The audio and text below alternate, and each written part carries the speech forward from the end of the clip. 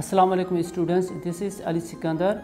In this video I am going to explain the complete word meaning in English and Urdu of unit number 2 once more to the lake an essay written by E.B. White part 1 of English book 1 for the first year class.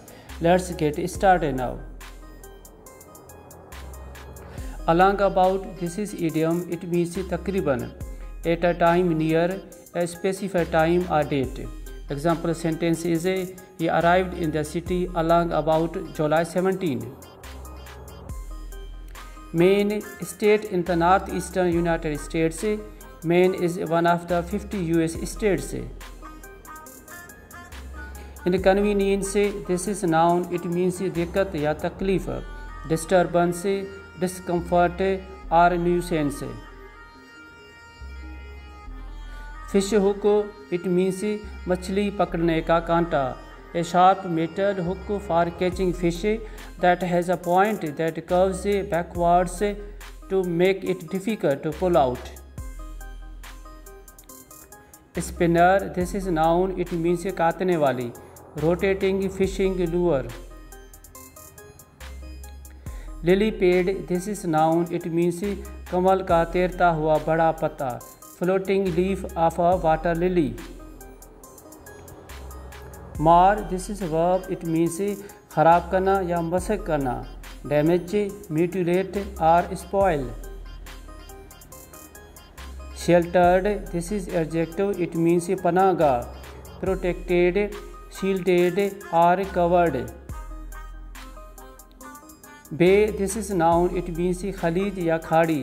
Summer arm of the sea where Shore curves inward. Stream, this is noun, it means darya ya nadi, a small narrow river. Desolate, this is verb, it means उजाड़ना या गैर आबाद करना make miserable abandon or neglect. Lumber, this is noun, it means काठ या लकड़ी timber wood or board से। Sneak this is verb it means छुप के चला जाना। मूव और go furtively or stealthily, creep, or slink. Canoe this is noun it means छोटी कश्ती। Light narrow boat propelled by paddles sprinkle this is verb it means बिखेरना। Scatter, disperse or spray. Sustain this is verb it means बर्दाश्त करना या सहारा देना। Strengthen और support physically और mentally comfort और help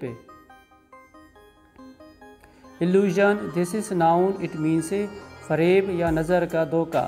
Delusion false impression of reality transposition this is noun it means जगह की तब्दीली the action of transposing something crop up this is verb it means निकलना emerge or appear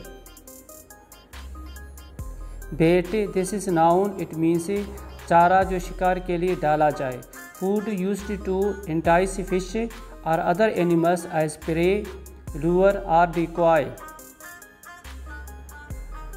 Creepy, this is adjective, it means gabrat, causing an unpleasant feeling of fear or uneasy, disturbing or frightening. Damp, this is adjective and noun, it means gila ya numb, slightly wet, moist or dampened. Worm, this is noun, it means kida, type of legless invertebrate. Thank you for watching.